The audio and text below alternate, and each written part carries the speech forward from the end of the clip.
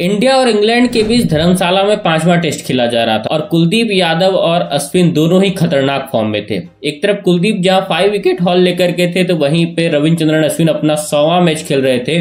और अश्विन ने भी चार विकेट ले लिया था। और इस खतरनाक बॉलिंग के कारण इंग्लैंड अपनी पहली पारी में मात्र में 218 रन बनाई। और उसके बाद आई पवेलियन जाने की बारी, जहाँ पर सारे प्लेयर जो है पवेलियन की ओर जा रहे थे। अब क्योंकि कुलदीप यादव ने फाइव विकेट हॉल लिया था तो कुलदीप यादव को कहा जा रहा था कि आप बॉल लेकर के आगे जाइए। लेकिन कुलदीप यादव ये सोच रहे थे कि ये तो अश्विन का हंड्रेड मैच है और अश्विन को जाना चाहिए और उन्होंने भी फोर विकेट हॉल लिया है। अब जो है अश्विन बॉल दे रहे थे कुलदीप यादव को और फिर कुलदीप जो है फिर से वापस अश्विन की तरफ़ फेंक रहे थे। इसी तरीके से तीन चार बार ये चला। फिर उसके बाद अश्विन ने कुछ ऐसा बोला कुलदीप यादव को कि उसके बाद से कुलदीप यादव ने उनको बॉल नहीं दिया। वो आराम से फिर बॉल दिखाते हुए पवेलियन की तरफ़ चले गए।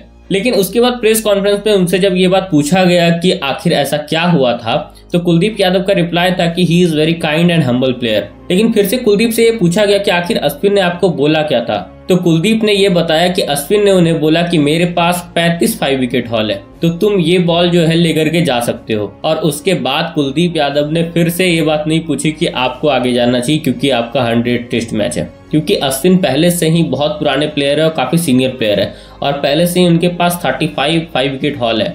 और क्योंकि कुलदीप एक नए प्लेयर हैं और ऐसा अचीवमेंट बहुत कम आता है किसी बॉलर के लाइफ में। फाइव विकेट हॉल लेना। हाँ ज़ाहिर सा बात है कि आप हंड्रेड टेस्ट मैच खेल रहे हैं, उसके लिए पहले भी पूरी टीम ने अश्विन को बोला था और पूरा जो एक ग्रेटिट्यूड दिखाना होता है, वो सब कुछ मिला था अश्विन को। तो अश्विन जो है, कुलदीप यादव से ये नहीं छिनना चाहते थे कि कुलदीप यादव का इतना बेहतरीन परफॉर्मेंस था और कुलदीप यादव को बॉल दिखाने का मौका नहीं मिले। क्योंकि ये माना जाता है क्रिकेट में कि आप अगर बैट्समैन हैं, आपने अगर शतक मारा तो आप बैट दिखाते हुए वापस आते हैं। उसी तरीके से अगर कोई बॉलर अगर फाइव विकेट ले लेता है ना तो वो एक तरीके का शतक होता है। मतलब जितना वैल्यू एक शतक का होता है, उतना ही वैल्यू उस बॉलर के फाइव विकेट का होता है। और खास करके टेस्ट में फाइव विकेट लेना एक बड़ी बात होती है।